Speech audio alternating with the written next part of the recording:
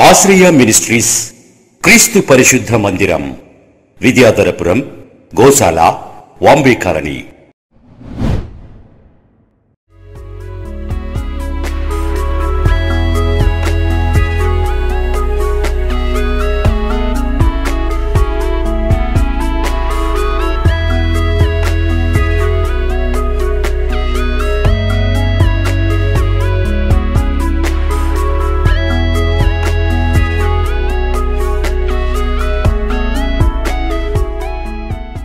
ప్రభునందు ప్రేమైన వారులారా ప్రభు యేసుక్రీస్తు నామములో మరొకసారి మీ అందరికీ ఆశ్రయ మినిస్ట్రీ తరపున శుభములు వందనాలు తెలియచేస్తున్నాను మరి ఆధ్యాత్మికమైన కార్యక్రమం ద్వారా ఎంతగానో మీరు మేలు పొందుతున్నారని నమ్మి దేవుని స్థుతిస్తూ ఉన్నాను. ఒకవేళ ఈ వాక్యములు ఈ యొక్క కార్యక్రమాల ద్వారా దేవుని వర్తమానం మీ హృదయంలో తాకినట్లయితే మీ హృదయానికి ఫలవంతంగా మార్చబడినట్లయితే మీరు తప్పనిసరిగా మా ఫోన్ నెంబర్లు సంప్రదించండి. మీ కొరకు నిత్యము ప్రార్థించడానికి మరి సిద్ధంగా ఉన్నాం ఈ భారభరితమైన పరిచర్య శక్తికి మించి చేయటానికి దేవుడు ఇచ్చిన కృపను బట్టి మాత్రమే ఈ యొక్క పరిచర్య జరుగుతుంది. ఎందుకంటే ఎవరి మీద ఆధారపడి కాదు కానీ దేవుని యొక్క ఆజ్ఞ ప్రకారము దేవుని చిత్తము చేయటానికి ఈ పరిచర్యలో మరి ముందుకు సాగటానికి ఎంతగానో దేవుడు తన కృప చూపుతున్నందుకు సంఘాన్ని బలపరుస్తున్నందుకు ఎంతగానో దేవుని స్థుతిస్తూ ఉన్నాను.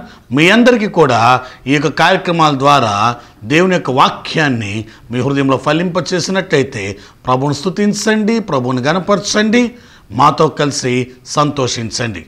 మీ అందరికీ ప్రభునేశ్కృష్ణ శుభములు తెలియజేస్తున్నాను మరి ఈ సమయంలో దేవుని వర్తమానంలోనికి వెళ్దాం. తడవ చేయకుండా దేవుని వాక్యంలోనికి మనం వెళ్దాం. హెబ్రి పత్రిక పన్నెండవ అధ్యాయము ఒకటి రెండు వచనాలు దేవుని వాక్యము చదువుకుందాం. ఇంత గొప్ప సాక్షి సమూహము మేఘము వలె మనలను ఆవరించినందున మనము కూడా ప్రతి భారమును సులువుగా చిక్కులబెట్టు పాపమును విడిచిపెట్టి విశ్వాసమునకు కర్తయు దానిని కొనసాగించువాడునైనా యేసువైపు చూచుచు మన ఎదుట ఉంచబడిన పందెములో ఓపికతో పరిగెత్తెదము. దేవునికి మహిమ కలుగునుగాక మన జీవితంలో ఎన్నో సులువుగా చిక్కులు పెట్టు పాపములు ఎన్నో బలహీనమైన స్థితులు మన విశ్వాస ప్రయాణంలో ఎదురవుతూ ఉంటాయి. ఆ ఎదురవుతున్న స్థితుల్లో చాలాసార్లు త్రొట్టెలు పడుతూ ఉంటాము. అయితే కొన్నిసార్లు భంగపడుతూ ఉంటాము. కొన్నిసార్లు అయితే మన జీవితంలో ఆ యొక్క ఎదురయ్యే పరిస్థితులు బట్టి నిలిచిపోతున్న స్థితులు కనబడుతున్నాయి అయితే ప్రియమైన వాళ్ళారా మన విశ్వాసమునకు కర్త మనలో విశ్వాసం రేకెత్తించి మనలను సరైన కోణంలో గెలుపు దిశగా అనగా మన జీవితంలో ఓటమి ఎరగని దేవుడిగా ఉన్న మన ప్రభు అయిన యేసుక్రీస్తు మన గెలిపించటానికి మన జీవితంలో ప్రతి మలుపులను సరిచేసి మేలుకరంగా నడిపించటానికి మనలో రేకెత్తిస్తున్న దేవుని ఉన్న కలిగే విశ్వాసం. రేకెత్తించడానికి దేవుడు సిద్ధంగా ఉన్నాడు. కాబట్టి విశ్వాసం విశ్వాసం విశ్వాసం అనేక సార్లు అనేక మార్లు ఈ పదాన్ని విని విని విని ఉన్నామేమో కానీ ఒక్కటి వాస్తవం. బైబిల్లో చాలా రకాలైన పదాలు రాయబడి ఉన్నాయి. అయితే బైబిల్లో ఈ హెబ్రి గ్రంథకర్త ఓ చక్కటి మాట హెబ్రి పత్రికలో పదకొండవ అధ్యాయము ఆరో వచనంలో విశ్వాసం గురించి చక్కటి వివరణిస్తూ ఉన్నాడు. ఒకసారి చదువుకుందామా? విశ్వాసము లేకుండా దేవునికి ఇష్టడై ఉండుట అసాధ్యము. దేవుని యొద్దకు వచ్చువాడు ఆయన ఉన్నాడనియు తన్ను వెతుకువానికి ఫలము దయచేయువాడనియు నమ్మవలను కదా? దేవునికి మహిమ కలుగునుగాక. చక్కటి మాట ఇక్కడ మాట్లాడుతున్నాడు. దేవుని యొద్దకు వచ్చువారు. దేవుని యొద్దకు వచ్చువాడు ఆయన ఉన్నాడని ఆయన ఉన్నాడని ఎవరి జీవితంలో? మన జీవితంలో ఆయన ఉన్నాడు. ఆయన వెతికే వారికి దొరికినవాడు. కాబట్టి ప్రేమైన సహోదర సహోదరి ఈ వర్తమానం వింటున్న నీవు చాలాసార్లు దేవుని కృపచేత నింపబడ్డావు కృపచేత నడిపించబడ్డావు కృపచేత ఆశీర్వాదకరమైన కార్యాలు పొందగలిగావు. అయితే చిన్న చిన్న అవాంతరాలు లేకపోతే నీ విశ్వాస క్రియలు కాస్త అవిశ్వాసకరంగా సులువుగా పెట్టు సాతాను క్రియలు. సులువుగా పెట్టు సాతాన క్రియలకు లొంగి కొన్నిసార్లు దగ్గర సారిన పరిస్థితుల్లో ఇక నా జీవితంలో లేవనెత్తగలిగిన వారు ఎవరు ఎవరు ఎవరని చాలాసార్లు సందేహించి ఉండొచ్చు కానీ ప్రభు అయిన యేసుక్రీస్తు మన విశ్వాసమును కర్త అంటగా మనలో విశ్వాసం రేకెత్తించేవాడు ఆయనే. మనలో విశ్వాసమును సమతుల్యంగా నడిపించేది ఆయనే. మనలో విశ్వాస పరిణితిలో అభివృద్ధి కలిగించేది ఆయన. కాబట్టి ఆ ప్రభు యొక్క సన్నిధానంలో అనేక విషయాలు మన జీవితంలో ఎన్నో అనుభవపూర్వకంగా నేర్పుతూ ఉన్నాడు. మరి యేసు ప్రభువారు ఈ భూమి మీద జీవించిన కాలంలో ఒక దినమున ఆయన గల్లే సముద్రం నడుచుకుంటూ వస్తున్నారు. నడుచుకుంటూ వస్తున్న సమయంలో శిష్యులందరూ కూడా ఆ పడవలో కూర్చుని ఉండగా ఈయన చూచి ఏదో అనుకొని కలవరపడ్డారు. అయితే ప్రభు అక్కడ ఒక మాట అంటున్నారు. నేనే అని చెప్పినప్పుడు వాళ్ళెంతగానో అక్కడ ఆగినట్టుగా పరిశుద్ధ గ్రంథంలో చూస్తున్నాం. అయితే ఇక్కడ సత్యాన్ని మనకు ప్రభు నేర్పాలని చూస్తున్నారు. మత్తే సువార్త పద్నాలుగో అధ్యాయము ఇరవై ఎనిమిదవ వచనం. పేతూరు ప్రభువా నీవే అయితే నీళ్ళ మీద నడిచి నీ యొద్దకు వచ్చుటకు నాకు సెలవిమ్మని ఆయనతో అనేను. దేవునికి స్తోత్రం. ఇక్కడ పేతురు ఒక మాట అంటున్నాడు. నీవే ఆయనవైతే నీవే అయితే నీళ్ళ మీద నడు. ఇక్కడ ఒక ఒక టాస్క్ జరుగుతుంది. ఏమిటంటే ఆ ఆ పడవలో ఉన్నవారు నేల మీద నడుస్తున్న ఏసైని చూస్తున్నారు. నీళ్ళు స్థిరం లేనిది. ఏదేసినా మునిగిపోతుంది. కానీ ఆశ్చర్యకరంగా ఈ పన్నెండు మంది అబ్బా దేవుడు కాబట్టి ఆయన నడిచాడు దేవుడు కాబట్టి ఆయన నడిచాడు దేవుడు కాబట్టి ఆయన నడిచాడు అని చాలా సంతోషిస్తున్న సమయంలో పేతురు ఒక అడుగు ముందుకు వేసి ప్రభా నీవైతే నేను నడుస్తానయ్యా. అయితే ఇక్కడ ఒక పదం మనం అర్థం చేసుకోవాలి. పేతురు అనగానే దుడుకువాడు దుడుకువాడు దుడుకువాడు. కాదండి. దుడుకువాడు మాత్రమే కాదు ప్రభు మీద విశ్వాసముతో ఆనుకున్నవాడై ఉన్నాడు. అందుకే నీవు నా దేవుడవు నా ప్రభుడవు నా దగ్గర నీవు దేవాతి దేవుడిగా ఉన్నావు కాబట్టి నీవు నా దేవుడు అయితే నేను కూడా ఈ నేల మీద నడుస్తాను అంటున్నాడు చూడండి ప్రభువు నమ్మినవాడు పరిస్థితిని నమ్మడు. పరిస్థితులు నమ్మినవాడు ప్రభువు నమ్మలేడు. ఎందుకంటే పరిస్థితుల కంటే ప్రభు గొప్పవాడు. మరి ఇక్కడైతే అందరు పరిస్థితులు చూసి ప్రభు యొక్క శక్తిని చూస్తున్నారు. కానీ పేతురైతే పరిస్థితులు నమ్మట్లా ప్రభు శక్తిని నమ్ముతున్నాడు. అందుకే నీవే ఆయనవైతే నేను కూడా నడుస్తానన్నాడు. అందుకు ప్రభు కమాన్ పిలిచాడు ఆయన. పిలిచినప్పుడు విశ్వాసముతో ఒక అడుగు వేశాడండి. నేల మీద వేసినప్పుడు మునగల. రెండో అడుగు వేశాడు మునగలేదు.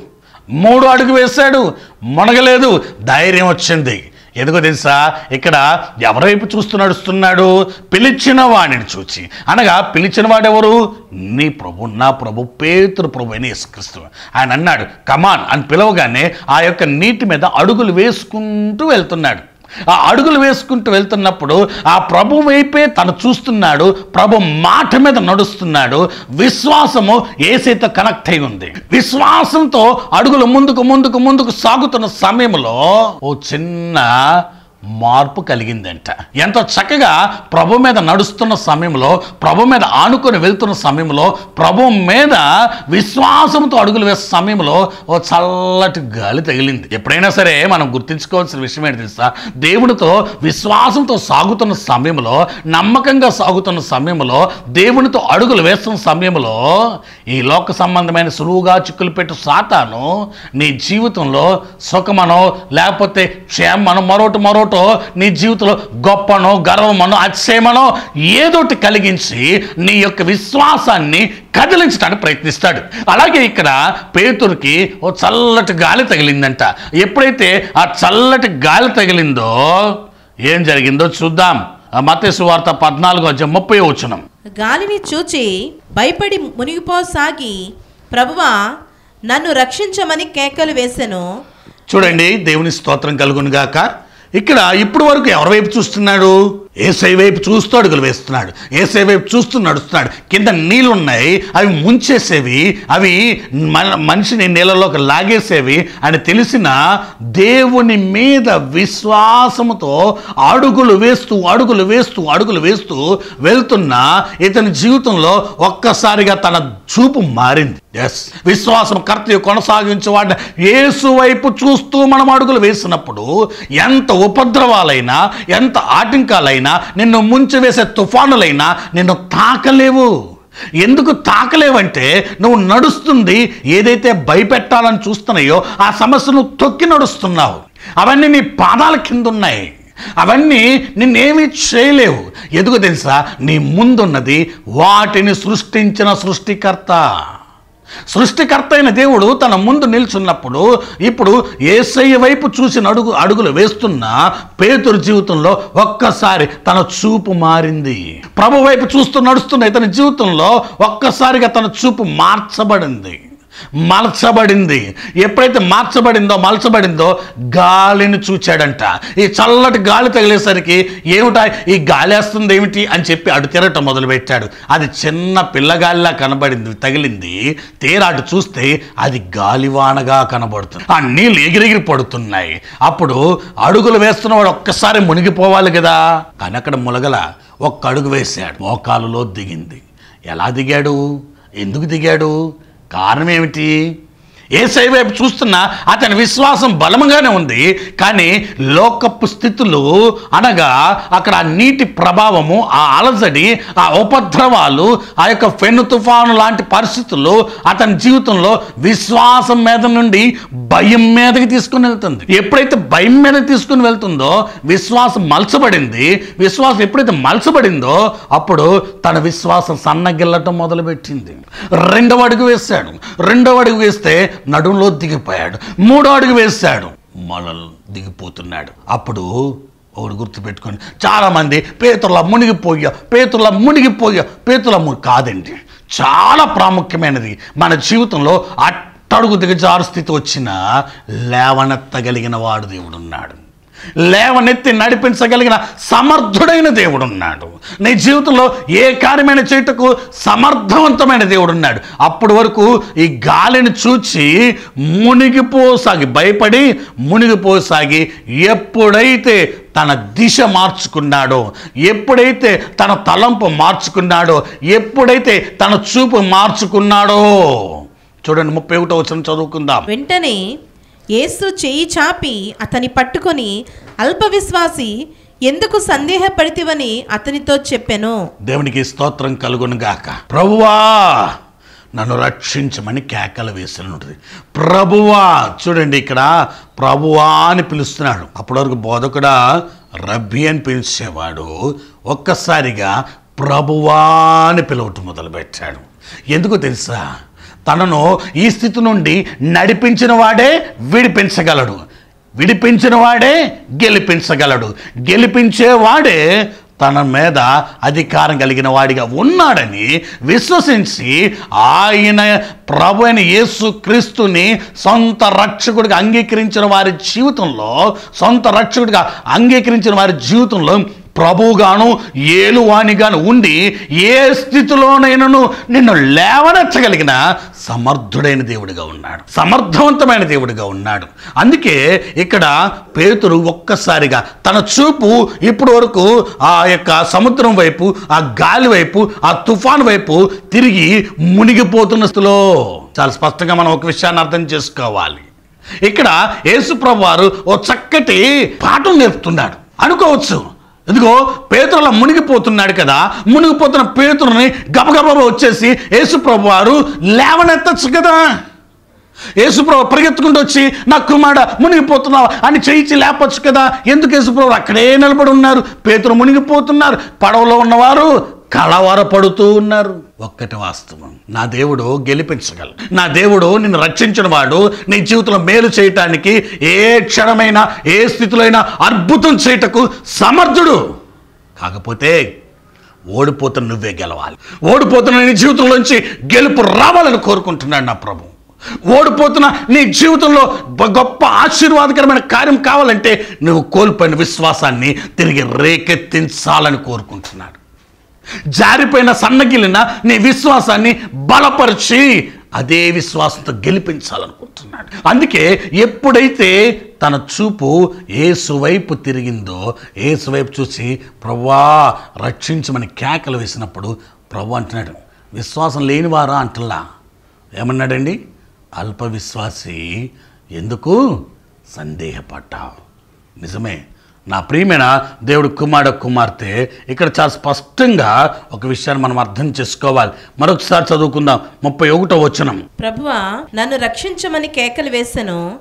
వెంటనే యేసు చేయి చాపి అతని పట్టుకొని అల్ప విశ్వాసి ఎందుకు సందేహపడితివని అతనితో చెప్పెను.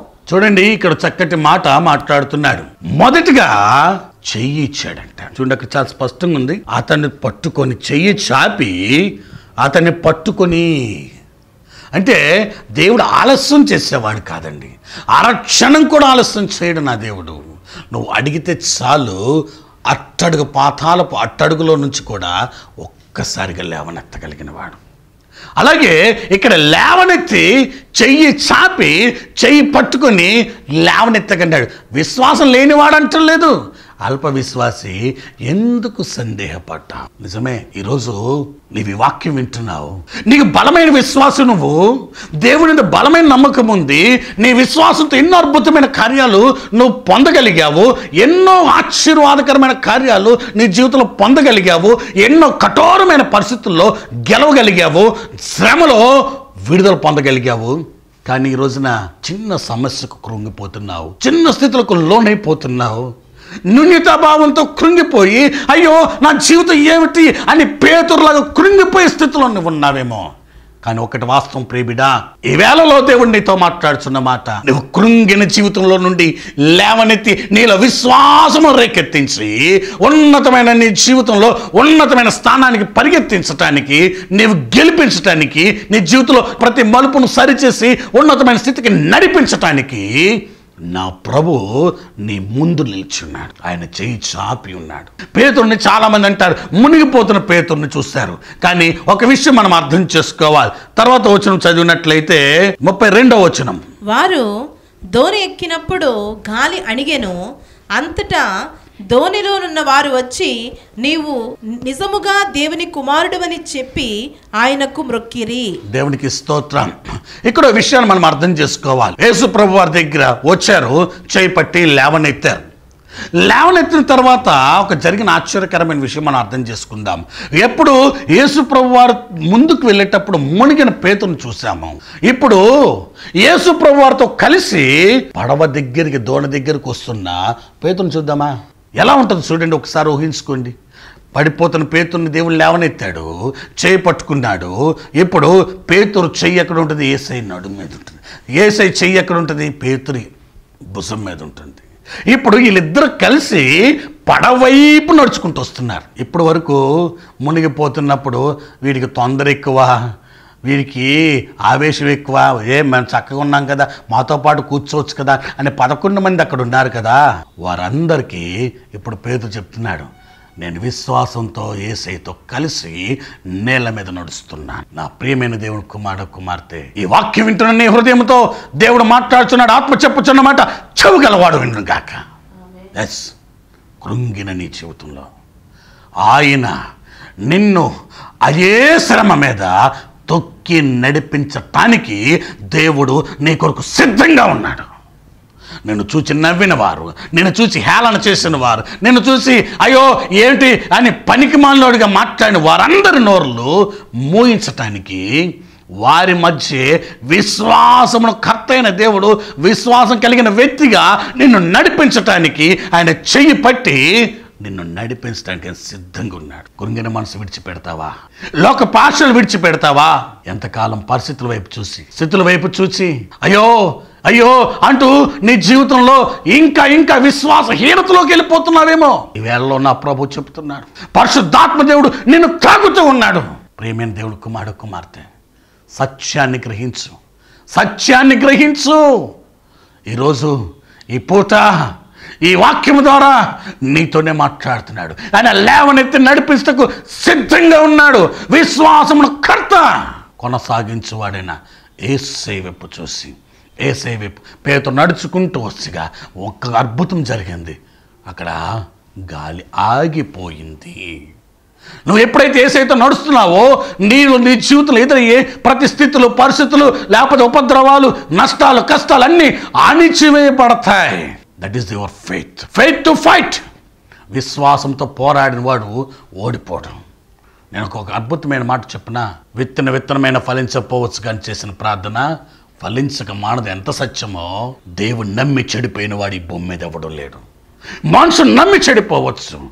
కానీ దేవుడి మీద విశ్వాసం కలిగిన వారిని ఎప్పుడూ దేవుడు విడిచిపెట్టడం. మరొకసారి లేఖన భాగంలో కిందాం హెబ్రి పత్రిక పన్నెండవ అధ్యాయం రెండవ వచనం. ఇంత గొప్ప సాక్షి సమూహము మేఘము వలె మనను ఆవరించినందున మనము కూడా ప్రతి భారమును సులువుగా చిక్కుల పెట్టు పాపమును విడిచిపెట్టి విశ్వాసమునకు కర్తయు దానిని కొనసాగించువాడునైనా యేసువైపు చూచుచు మన ఎదుట ఉంచబడిన పందెములో ఓపికతో పరిగెత్తెదము. ఆయన తన ఎదుట ఉంచబడిన ఆనందము కొరకై అవమానమును నిర్లక్ష్య పెట్టి సిలువను సహించి దేవుని సింహాసనం యొక్క కుడి పార్శ్వమున ఆసీనుడై ఉన్నాడు.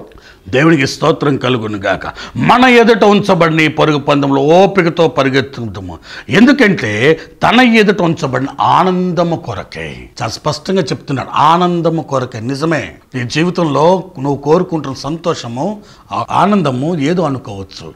కానీ దేవుడిచ్చే ఆనందం ఎలా ఉంటుంది తెలుసా? దేవుడిచ్చే సంతోషం ఎలా ఉండదు తెలుసా? మా జీవితంలో రెండు వేల ఎనిమిదో సంవత్సరం అందరూ అన్నారు నా చిన్న కుమార్తె పుట్టిన వెంటనే బ్రతకదు బ్రతకదు బ్రతకదు బ్రతకదు. ఆఖరికి సిజర్ చేసిన డాక్టర్ చెప్పారు పిల్లల డాక్టర్ చెప్పారు పెద్ద హాస్పిటల్ తీసుకెళ్తే ఆ డాక్టర్ కూడా రెండు రోజుల నుంచి బ్రతకదు అని చెప్పారు. అయితే నా దేవుడు నాతో చెప్తున్నాడు శ్రేష్టమైనది నేను ఇచ్చి తిని కానీ బలహీనమైనది నేను ఇవ్వలేదని నాతో మాట్లాడాడు. ఆఖరికి నా బంధువులు నా స్నేహితులు అందరూ కూడా నువ్వు వ్యర్థంగా ప్రవర్తిస్తు వ్యర్థంగా ప్రయాసపడుతున్న వ్యర్థంగా ఎన్ని డబ్బులు ఖర్చు పెట్టినా బ్రతకదు. ఎందుకంటే నీ కుమార్తె పుట్టుకతోనే రెండు ఊపిరితిత్తులు అతుక్కుపోయి పుట్టాయి. పుట్టింది కాబట్టి బ్రతకదు! అని అంటే అందరూ అదే మాట చెప్తుంటే ఆఖరికి తీసుకెళ్ళిన పెద్ద హాస్పిటల్ చాలా పెద్ద మల్టీ హాస్పిటల్ తీసుకుని వెళ్తే సూపర్ స్పెషాలిటీ హాస్పిటల్ తీసుకుని వెళ్తే అక్కడ డాక్టర్ కూడా రేపు ఉదయం వరకే ఉంచగలుగుతాను. తర్వాత నేను చెప్పటం కష్టం అన్నారు. కానీ దేవుని మాట నా చెవులో చొచ్చుతూ ఉంది. నేను శ్రేష్టమైనదే ఇచ్చి తిని దేవుడి మీద విశ్వాసముతో అద్భుతమైన విషయం ఏంటో తెలుసండి? అద్భుతమైన విషయం. పన్నెండు రోజులు పోరాడితే డాక్టర్లు చెప్పారు అందరూ చెప్పారు ఇక ఎవ్వరి వల్ల కాదు అన్నారు. కానీ అద్భుతమైన రీతిలో నా ప్రభు నా కుమార్తెను బ్రతికించాడు.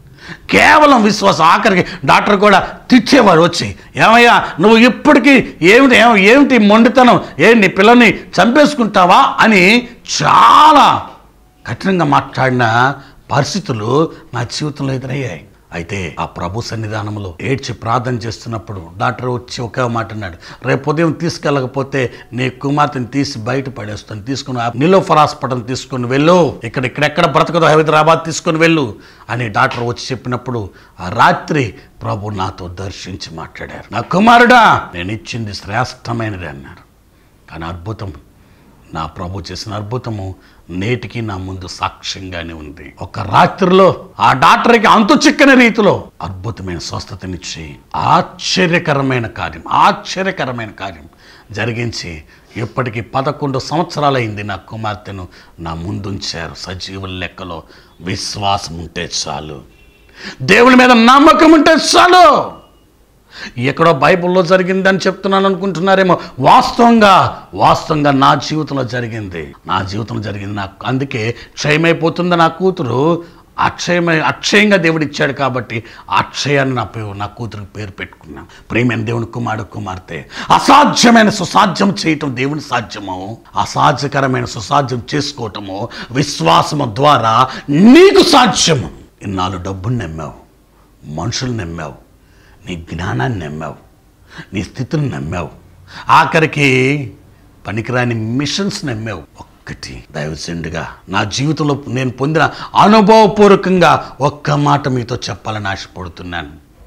ఎన్ని నమ్మి నువ్వేం సంపాదించావు తెలియదు కానీ మన కొరకు ఆకాశం మహాకాశం పట్టజాల మహిమ చేత మహిమ పొందుచున్న దేవుడు నరావతాడిగి లోకానికి వచ్చి సర్వకోటి మానవాళి నిమిత్తం శిలువ మీద భూమికి ఆకాశం మధ్య వేలాడి మరణించి తిరిగి పుండ తిరిగి లేచి పునరుద్ధానపు శక్తి చేత విమోచించిన నా ఏసయ్య మీద ఒక్కసారి విశ్వాసం ఉంచి చూడు.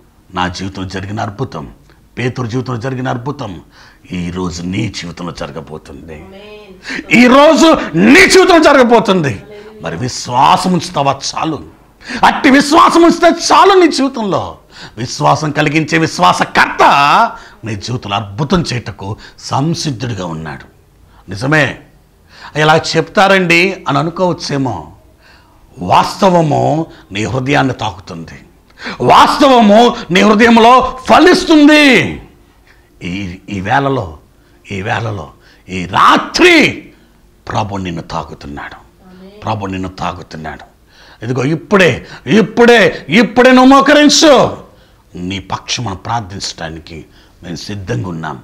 నువ్వు ఒక్కసారి ప్రభువా ఇప్పటి వరకు అనేక వాటి మీద నమ్మి మోసపోయానయ్యా. ఇప్పుడు ప్రభువా నా ఏసయ్యా నేను నమ్ముతున్నానయ్యా. నీ మీద విశ్వాసం ఉంచుతున్నానయ్యా అని ఒక్క మాట పలుకు. నీ జీవితం అద్భుతమైన రీతిలో మలచటానికి నా ప్రభు సిద్ధంగా ఉన్నాడు. తల్ల వంచడంలో చిన్న ప్రార్థన చేద్దాం. విశ్వాసము కర్తయ్య కొనసాగించు ఆయన మా ప్రభువైన యేసుక్రీస్తు ప్రభువా. నీ అమూల్యమైన ఆశీర్వాదకరమైన పాదాల దగ్గరకు వచ్చి ప్రార్థిస్తున్నాం. దయగలిగిన స్వామి నీ పాదాల దగ్గరకు వస్తున్నాం ప్రభా. అయ్యా దౌర్భాగ్యమైన జీవితంలో నశించిపోతున్న మమ్మలను నీ కృపా ప్రేమ చేత ప్రేమించి పిలిచి రక్షించి మరణానికి పాత్రమైన మమ్మల్ని మరణం నుండి విడిపించి నీ పాత్రలుగా చేసుకొని అయ్యా ఎవ్వరికి పనికిరాని వాడని త్రోసివేసిన ఈ దౌర్భాగ్యమైన జీవితాన్ని మీరు ఎన్నుకొని నేడు నా ప్రభా అనేక హృదయాలు లేవనెత్తటానికి టీవీ ద్వారా నీ పరిచర్యత చేయించడానికి నీ కృప చూపిన ఈ దౌర్భాగ్యాన్ని బట్టి నీ సన్నిధిలో స్థుతిస్తూ ఉన్నాను. నిజమే తండ్రి ఒకటి కాదు రెండు కాదు అనేకమైన అద్భుతాలు నా జీవితంలో జరిగించి నేడు అనేకుల మధ్య సత్య సాక్షిగా నిలబెట్టిన దేవా నీకు వందనాలు. రెండు వేల ఎనిమిదిలో నా కుమార్తె విషయంలో మీరు జరిగించిన ఆశ్చర్య కార్యాన్ని బట్టి నేను స్తుతిస్తూ ఉన్నాను. అలాగే నా తండ్రి దేవా ఆనాడు విశ్వాసం కోల్పోయిన సమయంలో తిరిగి విశ్వాసాన్ని కలిగించి నిలబెట్టి గెలిపించిన దేవా నీకు వందనాలు తండ్రి. నా తిని వాక్యం విని వారు హృదయములు నీ వైపు తిప్పుకున్న ప్రతి బిడ్డను బట్టి ప్రార్థిస్తూ ఉన్నాను. వారి హృదయంలో నా ప్రభు అడుగంటన అయ్యా నా తండ్రి దేవా, ఆశలు నా ప్రభువా కోల్పోయిన జీవితాన్ని తిరిగి పునరుజ్జింపచేసి విశ్వాసమును కర్త వారి హృదయమును కదలించండి.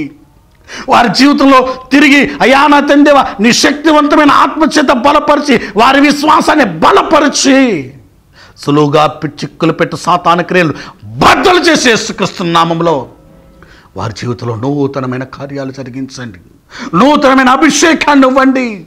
పేతురు వలె తొక్కి నడిచే శక్తివంతమైన అనుభవాన్ని దయచేయండి.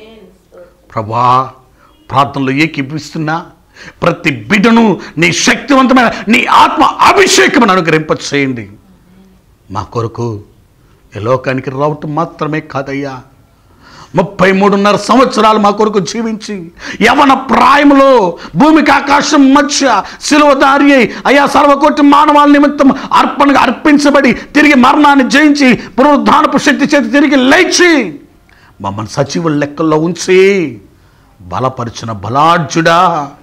అయ్యా కృంగిన వారందరినీ లేవనెత్తండి. విశ్వాసాన్ని బలపరచండి. వారి జీవితంలో పేతురు వలె నువ్వు చేయి పట్టి నడిపించండి ప్రభా గొప్ప ఆశ్చర్య ఆశ్చర్య కార్యాలు జరిగించి నీ ప్రభావములో నింపి నమ్మదగిన కార్యాలు వారి జీవితంలో నిండారుగా దయచేయమని నీ కృప కలిగిన ఆశీర్వాదకరమైన హస్తాలకు అప్పగిస్తూ అయ్యా ఈ ఆశ్రమించిన ద్వారా జరుగుతున్న ఈ పరిచర్య అయా నా తండ్రి దేవా ఏదో లాభాపేక్షతో కాదయ్యా ఆత్మల భారంతో మీరు అప్పగించిన ఆజ్ఞ కొరకు నాతో శక్తికి మించి జరిగిస్తున్న ఈ పరిచర్య. అందరి హృదయాల్లో ఫలింపచేయనట్టుగా ఆత్మల పంట కోయినట్టుగా. సహాయము దయచేయండి. అయ్యా మా దగ్గర ధనముండో బలముండో కాదయ్యా. కేవలం మీ కృప చేత మమ్మల్ని బ్రతికించున్నందుకు అయ్యా ఈ పరిచర్య జరిగిస్తుండగా మీరే నా తండ్రి ముందుకు సాగించడానికి నీ నిండు సహాయము దయచేసి నీ బలిష్టమైన స్థాలకు అప్పగిస్తూ మరొక్కసారి నిండు హృదయముతో అయ్యా వారినందరినీ నీ చేతులకు సమర్పించుకుంటూ అల్పుడు నాయకుడు నా ప్రార్థన కూడా ఆలకించమని సమస్తమే సర్వాధికారి అయిన నజరైన నేసుక్రీస్తు నామంలో ప్రార్థించి అడిగి వేడుకొంచున్నాం. నమ్మదగిన తండ్రి. మీ ప్రార్థన అవసరతల కోసం ఇరవై నాలుగు గంటలు అందుబాటులో ఉండే మా cell numbers nine two nine zero five two six two seven eight.